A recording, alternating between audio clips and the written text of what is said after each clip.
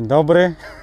Nazywam się Janik Albert i chciałbym wszystkich zaprosić e, do oglądania tego kanału, bo będzie to kanał specjalny, specjalnie przygotowany dla ludzi, którzy chcieliby się zająć przygotowywaniem swoich koni, przygotowaniem siebie do trenowania e, albo surowych koni, albo trudnych koni i tak.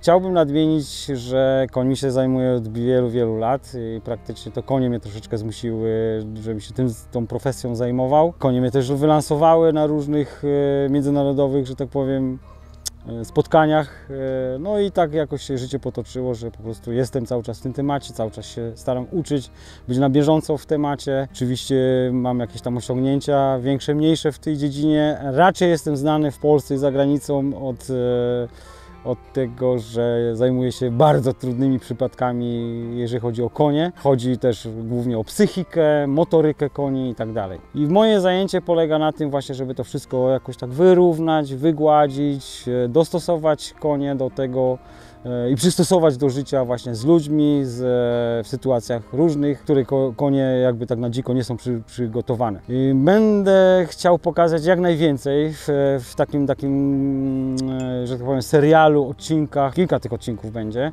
E, Będziemy mieli tutaj, że tak powiem, surowego konia rasy arabskiej, który, który przyjechał niedawno do, do mnie na rancho.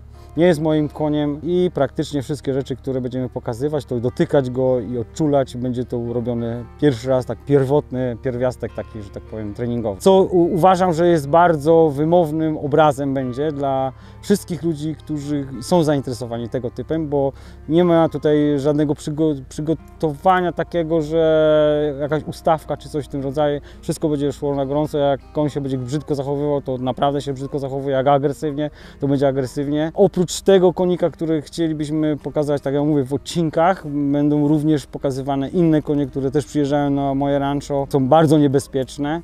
Bo tak jak powiedziałem już wcześniej, e, są metody, metody to bardzo praktyczne i bardzo skuteczne. Ja będę wszystko opowiadał, tutaj ekipa, która filmuje jest, y, że tak powiem, bardzo profesjonalnie podchodzi do tematu również, co chciałbym od razu podziękować im na początku. Na końcu też to zrobię, nie? No ale to jest ważne, żeby po prostu dla Was był to materiał e, czysty, przejrzysty i, że tak powiem, atrakcyjny i nauczalny. Co jeszcze chciałem nadmienić, to to, że będą pewnie jakieś pytania i tak dalej, także na to też jestem przygotowany. E, I zachęcam do tego, e, żeby zadawać pytania, bo no nie jesteśmy wszystkich sytuacji, że tak powiem, wymyślić czy stworzyć. Tak jak mówię, ca- wszystkie nagrania będą to tak na żywo brane e, i na żywo będziemy reagować. Metody głównie będziemy się zajmować tutaj odczulaniem, co jest bardzo istotną rzeczą. Będziemy uczyć koni, konia e, takich nowych nawyków, nowych będziemy tworzyć nowe połączenia neuronowe. Metoda, którą ja stosuję, to jest metoda biegających nóg, że tak powiem, która pozwala właśnie uruchamiać dwie półkule mózgu konia, bo wiadomo jak stoi koń, to tylko jedna część y, mózgu pracuje, druga jest jakby tak uśpiona, ale w trakcie ruchu one się uruchamiają i w tym momencie będziemy właśnie tworzyć takie nowe formy, że tak powiem, zachowania konia, nowe te połączenia neuronowe, co y, w późniejszym czasie i oczywiście będę to nadmieniał bardzo często, będzie trzeba utrwalać, bo to utrwalanie to tak jakby mm, druga część operacji, która e, jest potrzebna do tego, żeby sfinalizować e, i mieć konia naprawdę elastycznego, plastycznego e, i przyjaznego. Tak? Celem właśnie tej drogi będzie to, że przez szacunek będziemy szli do zaufania i będziemy po prostu konia uczyć właśnie jak, jak ma, co ma szanować, kiedy ma uszanować naszą presję większą, mniejszą. Będziemy to wszystko dawkować, żeby robić to po kolei.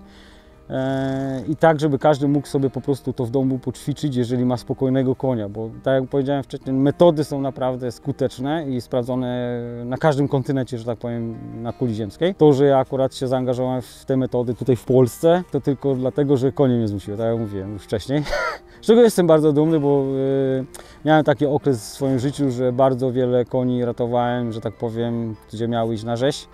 I te właśnie trudne konie, gdzie głównie szły te konie na rzeź z tego względu, że były psychicznie złamane, źle przygotowane przez ludzi, bo naturalnie konie są po prostu końmi i zachowują się tak jak powinni się zachować, czyli dziko i swobodnie i bez ograniczeń, ale my ludzie po prostu to zrobiliśmy taką e, że tak powiem, zamknęliśmy to w klatce i po prostu nie każdy koń może wytrzymać e, taką presję, którą jest to dla niego, że tak powiem, przygnębiające, że aż tak powiem. Nie? Także te konie właśnie, które ratowałem z rzeźni, wiele, wiele mnie nauczyły, plus, plus y, były takie sytuacje, że nie mogłem, że tak powiem, sobie poradzić na początku, więc zacząłem korzystać z wiedzy, literatury i tak dalej, a również najbardziej mi pomogły to trenerzy, którzy profesjonalnie się zajmują też właśnie ujeżdżaniem, trenowaniem, pracą z ziemi przede wszystkim. No jak to wszystkie kropki posklejałem i nawet na moich kursach, gdzie, gdzie od czasu do czasu prowadzę takie kursy, zachęcam wszystkich osoby, które się szkolą u mnie, zachęcam do tego, żeby nie zakończyli takich e, wiedzy treningowej tylko na jednym trenerze, tylko czym więcej tych trenerów będziemy mieli, że tak powiem, w, świadomości, w podświadomości, umiejętności, to będziemy bardziej skuteczni. I to wiem po sobie, że to mi bardzo pomaga do dzisiaj i ciągle się dzięki temu rozwijam. I co jest najważniejsze jeszcze, bo wiedza niczego nam nie gwarantuje, tak? bo możemy być oczytani, znać różne schematy, różne slangi, slongi i tak dalej, ale skutecznym, żeby być, to nie o, nie o to chodzi, żeby dobrze, ładnie recytować, tak? tylko chodzi o to, że to wszystko, jak umiemy jeszcze w doświadczenie, tak? które musimy zdobyć robiąc to, nie czytając, tylko to, co wiemy, to, co usłyszymy, to, co zobaczymy, przećwiczyć na swoich, swoich rękach. Najlepiej jakby to było, jak będziecie oglądać te filmy różne, gdzie ja tam odczulam i różnie, różnie koń się zachowuje.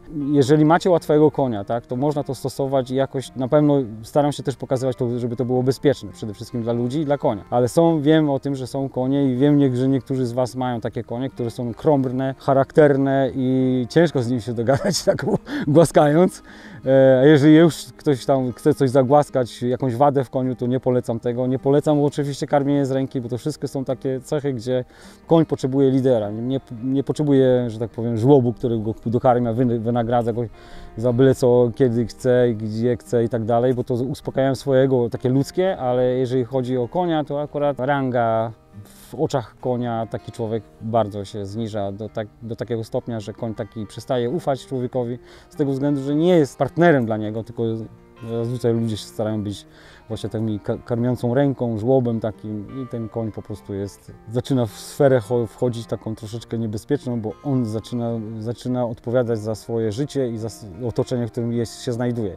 Nie każdy koń jest do tego przygotowany, a jak człowiek, który tylko karmi go, a nie pokazuje, że jest liderem, po prostu przegrywa. No i to, o tym też już nadmieniam tu na początku, przez co wprowadzam do tych seriali, które będziemy pokazywać, gdzie właśnie unikać takich sytuacji, że, że koń na, na, nas wpływa, a nie my na niego. Bo tutaj chodzi o to, tak jak powiedziałem na początku, czy chwilę wcześniej, że koń lubi wiedzieć, kto tutaj jest liderem, tak?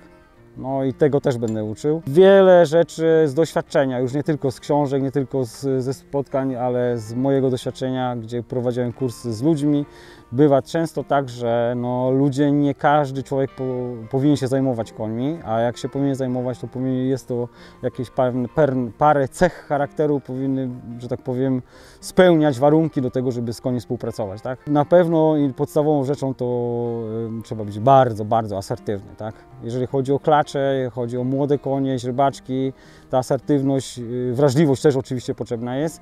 I co do ogierów, to nie będę omawiał tego tematu, bo to zostawiam dla, dla profesjonalistów. Ja nie mówię o jakichś tam przykładach, gdzie ktoś, ktoś miał konia, książkę i może się jakimś tam zdaniem nie zgadać, że ogier to przecież fajny koń, łagodny i tak dalej. Ja nie mówię o takich przy, przypadkowych czy tam jednostkowych rzeczach, ja mówię ogólnie, tak, że z mojego doświadczenia wieloletniego gdzie przez moje ręce przeszło kilkaset koni. To jest i raz, a dwa też przez wiele lat, jak prowadzę rancho i w różnych miejscach, w różnych stadninach pracuję, też mnie wynajmują, to po prostu widzę, jak się ludzie zachowują, jak się konie zachowują, czego tam brakuje. No i to potwierdza to, co właśnie mówię do Was. Asertywność i przygotowanie do zajęć z koniem musi być człowiek przygotowany.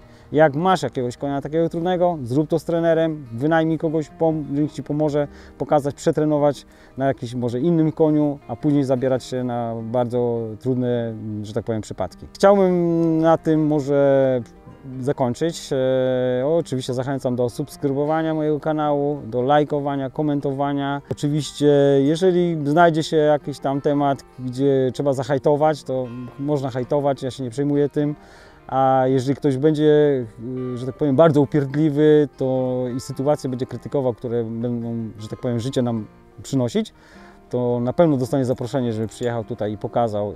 Zamiast hejtować, pokaże jak to on robi, żeby inni też mogli uczyć się od takich fachowców i również będę chciał zaprosić ludzi, którzy też się zajmują taką profesją, y, jak y, ujeżdżaniem, odczulaniem koni i pracą z ziemi, żeby po prostu ta informacja była cały czas na bieżąco od różnych innych fachowców i żebyście mogli po prostu doświadczać fajnych doznań współpracy z koniem, gdy już koniu jest e, tą całą drogę, z koniem się przejdzie od zera do lidera, że tak powiem, czy do zawodnika, bo tutaj mamy taki malutki planik, że tego surowego konia będziemy pokazywać, jak po kolei ten etap przechodzi edukacji, ćwiczeń, odczulania i tak dalej. Może będzie nawet szansa, żeby pokazać historię pierwszego startu gdzieś na zawodach. Także oczywiście ja sobie tego życzę, Wam sobie tego, Wam też również tego życzę, żeby taką jakiegoś konika sobie znaleźć, potrenować sobie i tak jak mówię, do zobaczenia i zachęcam do subskrybowania. Hej!